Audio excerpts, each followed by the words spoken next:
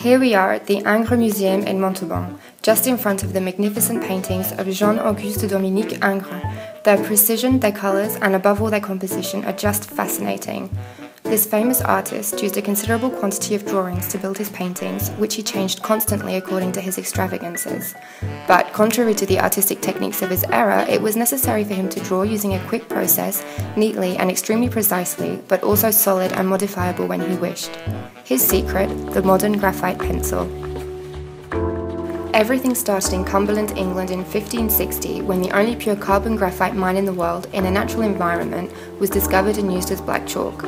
This mine supplied all of Europe, but the blockade against the English, imposed by Napoleon at the end of the 18th century, obliged France to look for an efficient substitute. And so, in 1795, Nicolas Conté invented the modern graphite pencil. Containing crushed French graphite, it is mixed into white clay, then cooked and inserted into a wooden stalk. It is a precise and flexible tool and affordable. This pencil was quickly used by a number of French artists from this period. David, Delacroix, Géricault, but above all Ingres.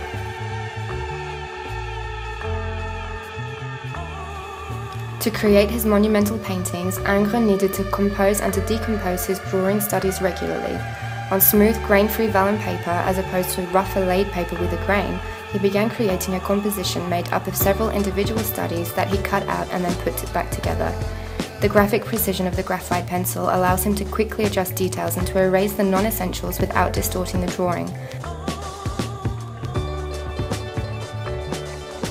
By soaking some vellum paper, or laid paper, with oil or varnish, Ingres obtained transparent tracing paper, which allowed him to modify his composition to make it more coherent.